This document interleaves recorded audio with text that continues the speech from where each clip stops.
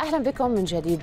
أيد الاتحاد الأسيوي قرار الفيفا بزيادة عدد منتخبات مونديال 2026 إلى 48 منتخبا.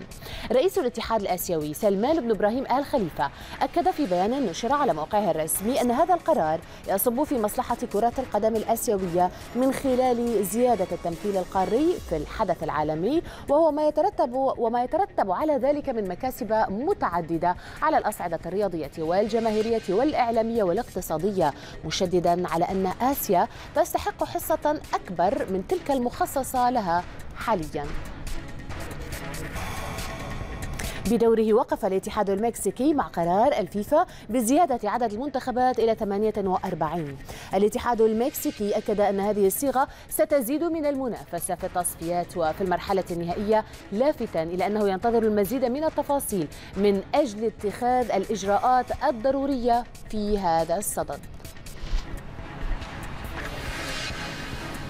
وهذه آراء متباينة من البحرين بشأن زيادة عدد المنتخبات المشاركة في كأس العالم بداية من 2026 هاي شيء إيجابي حق نحن وخصوصا المنتخبات العربية ما كانت تحصل فرصها قبل يعني المقاعد كانوا أقل.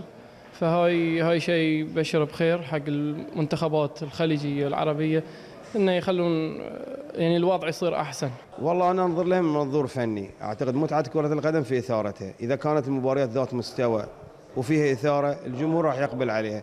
كثرة لعدد الفرق أعتقد راح طابع كأس العالم راح نفتقده. السنس مال كأس العالم الإثارة. إحنا ننتظر لقاءات كثيرة تواجه. تصور لما الأرجنتين تواجه واحد من الفرق اللي متأهلة. طبعا يعني أعتقد راح تتأهل في منتخبات دون المستوى مع احترامي لها.